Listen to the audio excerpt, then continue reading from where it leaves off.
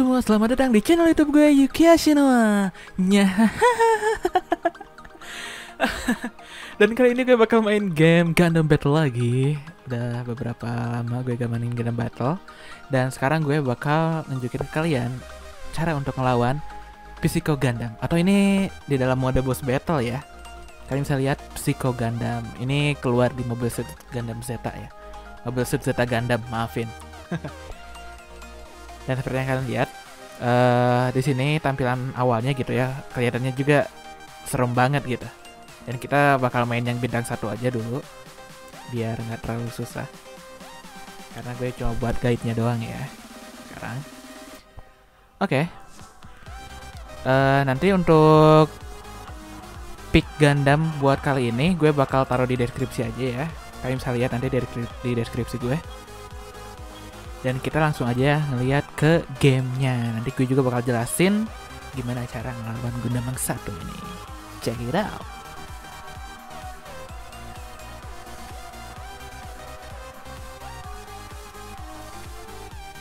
Oke kita udah masuk ke dalam gamenya. Dan kali ini kalian bisa lihat Gundam yang eh bukan Gundam sih ini masuk ya. Nggak masuk Gundam ya.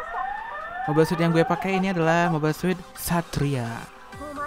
Eh, ini yang dipakai di Gundam Mobile Suit Gundam Unicorn ya yang dipakai sama Marida Cross dan ngelawan Psycho Gundam dari Mobile Suit Zeta Gundam. Kenapa gue milih ini? Dia punya burst damage yang benar-benar super deh. Kalian bisa lihat burst damage-nya itu sakit banget. Kalian bisa lihat itu darahnya langsung berkurang banyak banget ya. Tuh, ini 3 3 persen 3 sampai 4 persen bisa berkurang ya pakai burst damage-nya Satria dan karena gue udah dapet pilotnya juga jadi gue bisa dapet spesialnya. Kalian bisa lihat cara pakainya kayak gini ya. Kita main jarak jauh aja kita main support kita main full damage. Dari tembakan jarak jauh. Aduh hampir kena. Maaf maaf maaf. Eh, nah ini kalian bisa lihat kalau misalnya dia nyerang eh, kalian bisa lakuin tembakan kayak gitu dari jarak jauh. Burst damage-nya kalian pakai kalau dia lagi nyerang Nah, seperti kayak gini, kalian pakai burst damage-nya kalau ada, kan gue lagi nggak ada, jadi gue nggak pakai burst damage. Kalian bisa lihat, kita kabur aja, kabur, kabur. Kita main jarak jauh sekarang, kita main full damage jarak jauh. Kalian bisa lihat, gue udah nyiapin burst damage gue dan kayaknya dia bakal berubah ke form kedua dia. Ini punya dua kaskin, boss battle yang punya dua kaskin. Curang ini Gundam ini parah banget Psycho Gundam curang sekali. Aduh sakit itu temen gue kena. Dan kalian bisa lihat itu cara kita bermain sekarang dengan hati-hati. Oh ada notif. Gue nggak ngerti juga itu tulisannya. Kalian bisa lihat kayak gitu terus ya. Mainnya jarak jauh kita pakai tembakan Cicer. sorry sorry ngelag ngelag ngelag. Itu tadi karena ngelag ya. Jangan sosokan deh lo bang. Bilang aja cupu Tapi ya benar tadi nih kalian bisa lihat ping gue gede, nge-like banget ya. Ping gue gede banget jadi nge-like.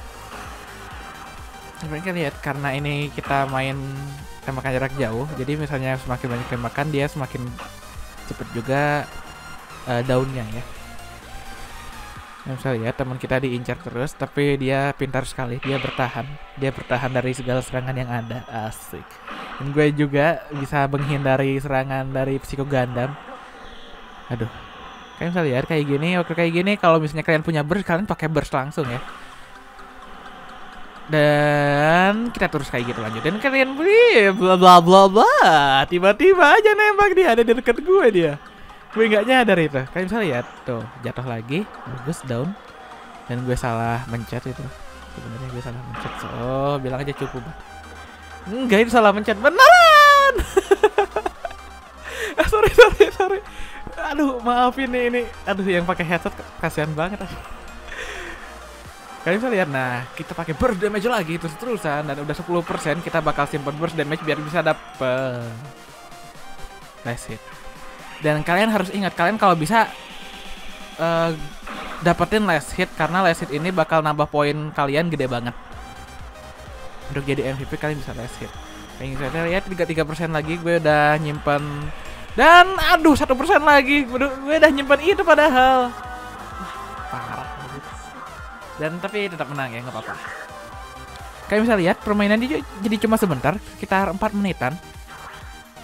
Kalian, tapi gue masih MVP ya, gue nggak kenal sih, tapi gue dapat MVP. Dan kalian bisa lihat, ini pakai kesatria doang, cuma satu mobile suit doang.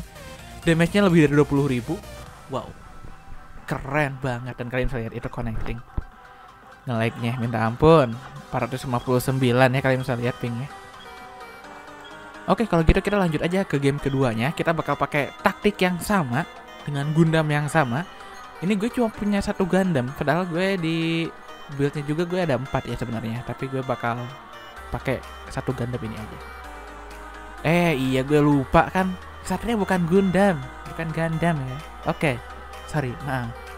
Oke, kita langsung aja lanjut ke permainan kedua.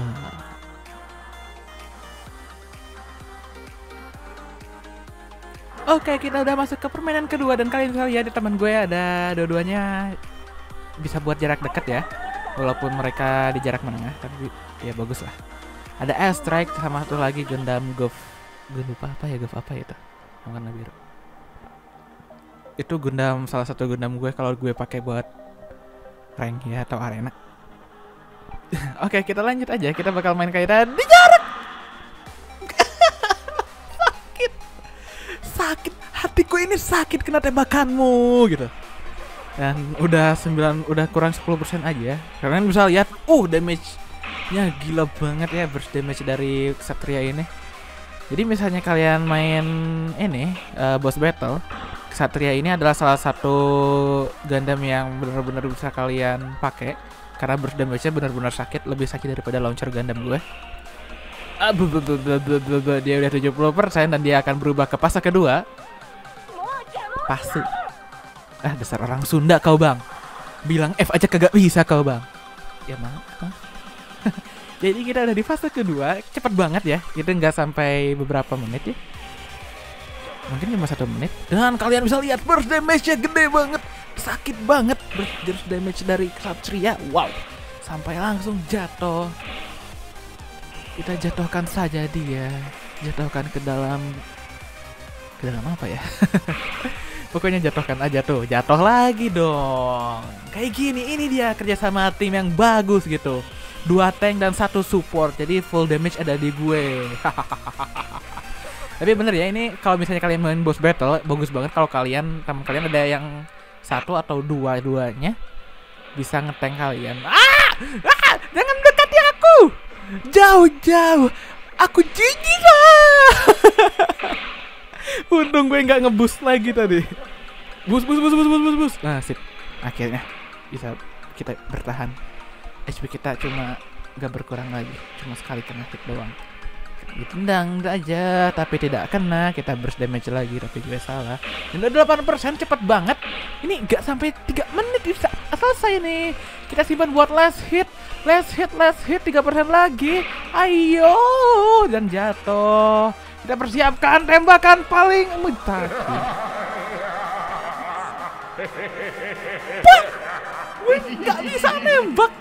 Dia ini kecepatan. Tapi gue tetap MVP ya walaupun nggak dapet last hit. Kalian bisa lihat ini damage yang ditumbulkan ke Satria ini parah banget. 12.000 ya. Tapi walaupun gitu uh, kita masih tinggi di atas yang lain nilai kita jadi kita bisa MVP Oke jadi segitu aja buat video kali ini uh, Kalian bisa ikutin cara gue buat ngelawan Psycho Gundam biar gampang Gampang bungut. Kalian bisa lihat nah itu gue liatin sedikit build gue ya.